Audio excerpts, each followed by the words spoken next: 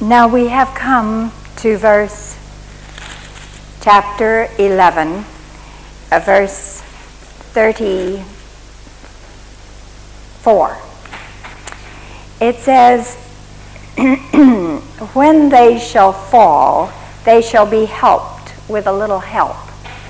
This is referring to the help that was given to God's people during the European Reformation. And the date for that is about 1300 into 1600.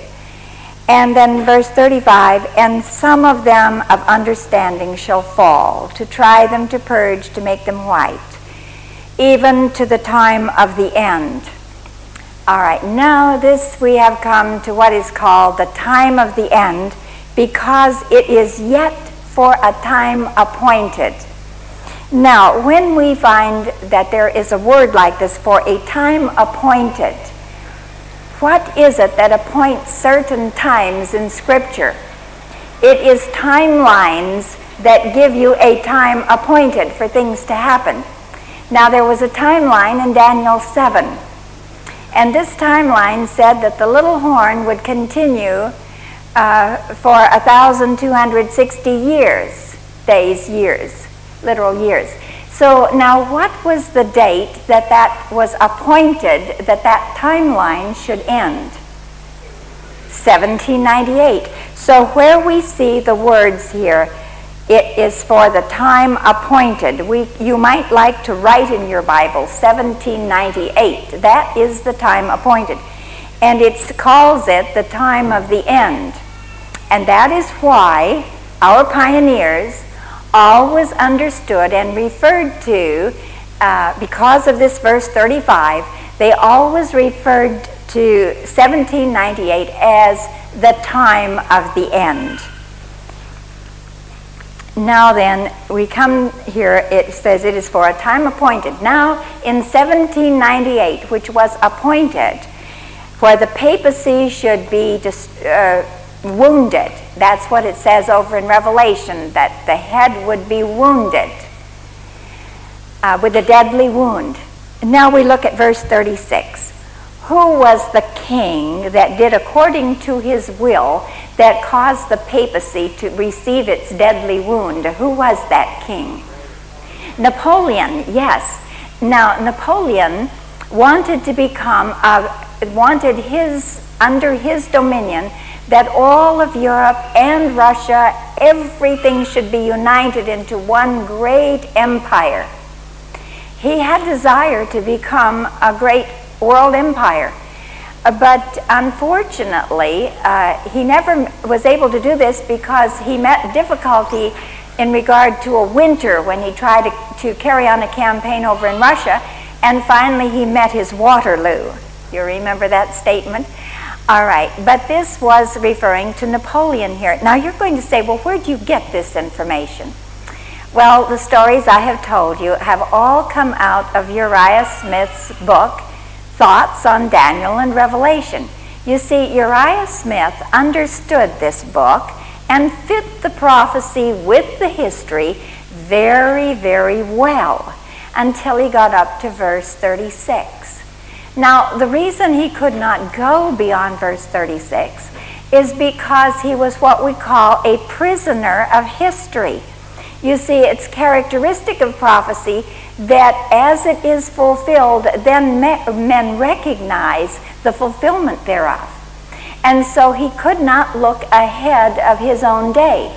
But as he goes, with a few exceptions, he get, did an excellent job all the way up here through verse 36. And so then it speaks of him. And uh, Napoleon will do according to his will. He shall exalt himself and magnify himself above every god. Now, what is what was the religion or ideology of Napoleon and the government of France? What atheistic. Yes, it was an atheistic government. You see, the French people were tired of being controlled by the papacy. In fact, I heard a radio announcer say one day a certain museum has bought a letter that was written by Napoleon and they bought it for thousands of dollars. And uh, he said, This is a letter that was written by Napoleon to the Pope.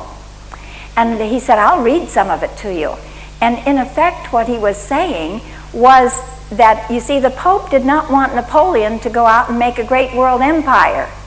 And so he was saying, No, you can't do that. No, you can't do that. And so Napoleon wrote him a letter and he said, in effect, you keep your nose out of our business or we will come over and take you off your throne. Well, the radio announcer said, Imagine anybody writing a letter like that to the Pope. Well, yes, he did. And the whole government was tired of the papacy, tired of the popes. They were tired of religion. They didn't want anything more to do with God. They had a very bad representation of God by the papacy.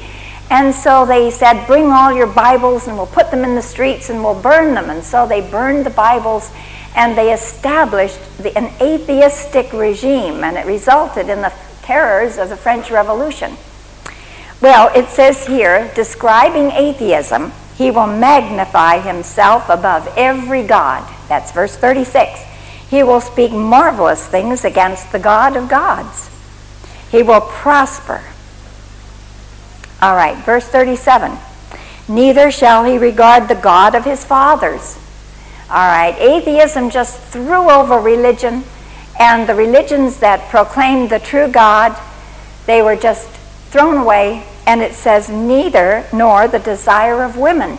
Now, we have a book that is called The Desire of Ages. Who is the book about? Jesus Christ.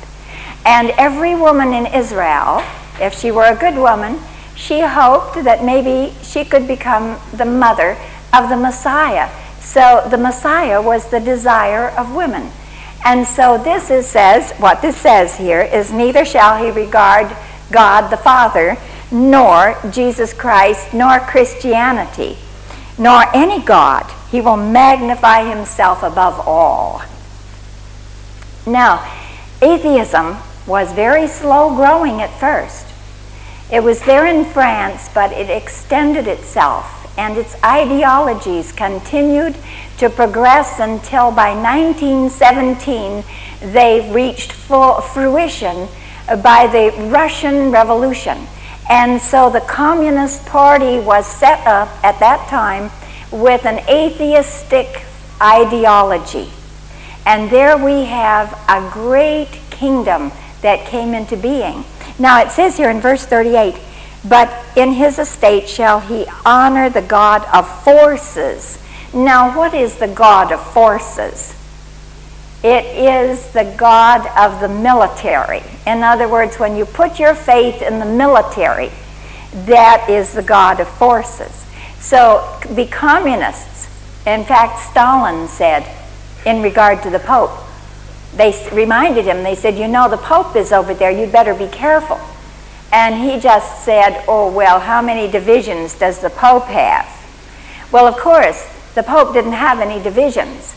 But it says here that the communist atheistic estate would honor the God of forces, and they determined that they would become a great one world empire. Now, I'm going to show you a map here that will indicate the extent of the USSR with its atheistic theology. We're going to look at the scope ideology. Uh, let us look at the scope of the USSR.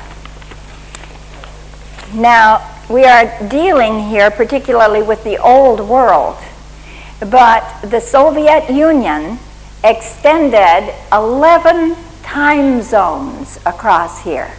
That's almost half of the world's surface. Furthermore, up here is Alaska. And for decades, the United States never had all its planes on the ground at one time because it was pushing, and there's just a little narrow straits across here, the Bering Straits, and they could have come right across. And so there were planes always in the air circling over uh, and keeping watch over Alaska, over the North Pole. Not only that, they were pushing in all directions. They were pushing against the